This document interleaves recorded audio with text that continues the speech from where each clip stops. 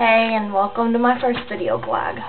So, what's really on my mind is haters. The ones that can't give it up, that have nothing better to do than sit around and talk shit about you. They don't, they don't even know nothing but your first name.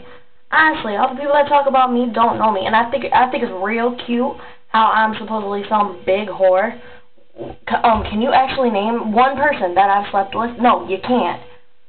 I'd like to see that. I'd really like to hear about that. I hope I was good. I mean, shit.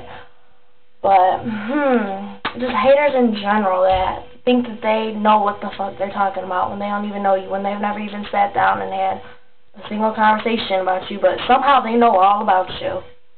Hmm, that's cute.